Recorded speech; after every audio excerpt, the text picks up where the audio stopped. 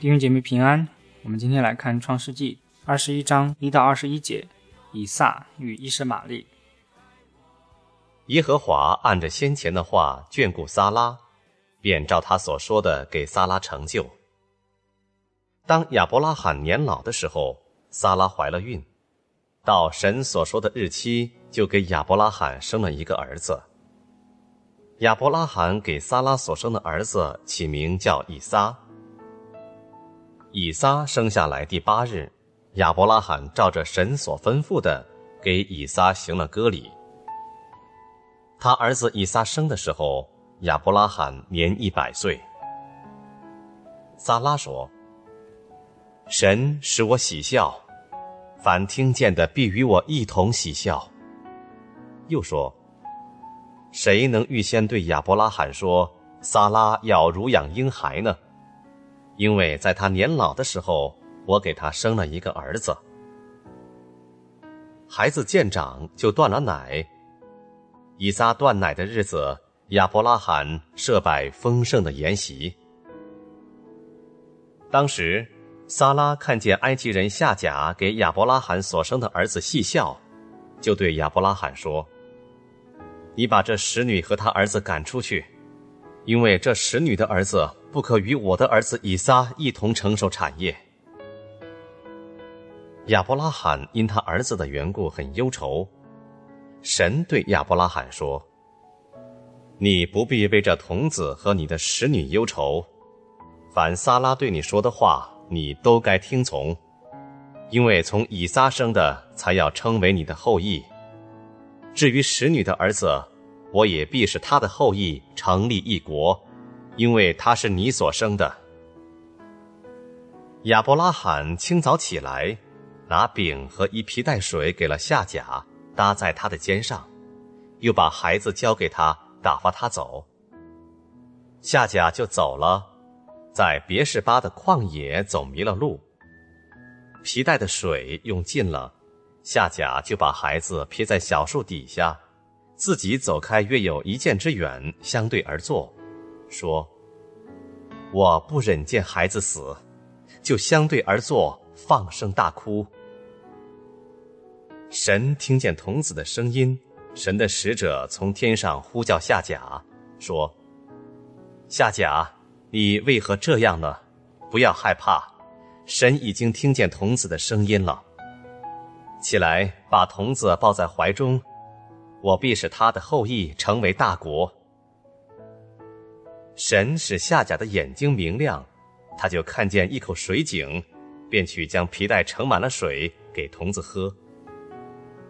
神保佑童子，他就见长，住在旷野，成了弓箭手。他住在巴兰的旷野，他母亲从埃及地给他娶了一个妻子。在诗篇三十七篇第三节说：“你当依靠耶和华而行善，住在地上，以他的信实为粮。”神是信实的神，上帝一定会成就他的应许。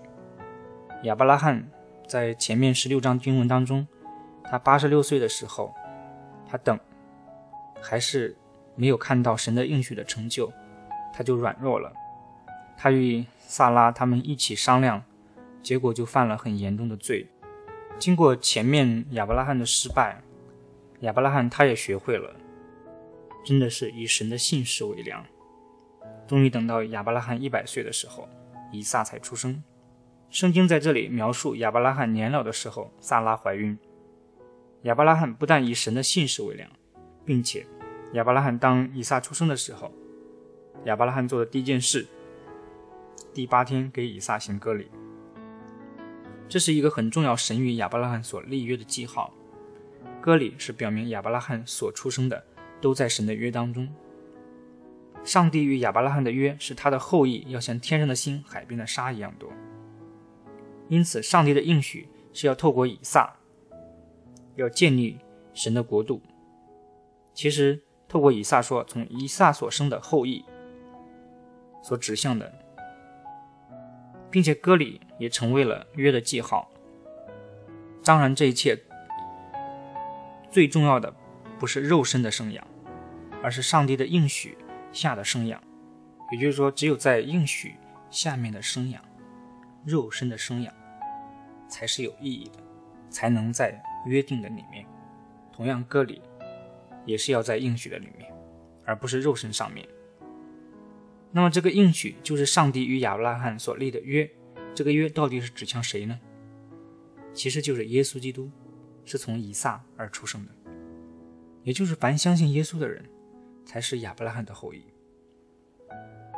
在罗马书二章二十八节到二十九节说：“因为外面做犹太人的不是真犹太人，外面肉身的割礼也不是真割礼，唯有里面做的才是真犹太人。真割礼也是心里的，在乎灵，不在乎译文。这人的称赞不是从人来的，乃是从神来的。”在六章六到第九节说：“这不是说神的话落空了，因为从以色列生的不都是以色列人。”也不是因为是亚伯拉罕的后裔，就都做他的儿女，唯独从以撒生的，才要称为你的后裔。这就是说，肉身所生的儿女不是神的儿女，唯独那应许的儿女才算是后裔。因为所应许的话是这样说：到明年的时候，我要来，萨拉必生一个儿子。我们看到另外一个就是伊斯玛利。当以撒渐渐长大的时候。曾经亚伯拉罕因为他们夫妻所犯的罪的后遗症，又再次的出现了。萨拉看到夏家所生的儿子细笑，就不开心，要对亚伯拉罕说，要把他们全部赶出去，并且说他不可以与以撒同受产业。这个事情让亚伯拉罕非常的头疼。这个其实也是他们曾经犯下的多期的后遗症，这种家庭的关系也非常的复杂。当然在这里。也是他们利益之间的一个冲突，而产生了这样的矛盾。但是上帝又主动的介入到这次的事件当中，因为是跟后裔有关的时候，神都会主动介入。神说：“从以撒生的才称为亚伯拉罕的后裔。”这个是按着上帝应许之约的路线而发展的。而上帝也怜悯伊斯玛利，使他的后裔成为大国。其实，在这里有两个国，这两个国是不一样的。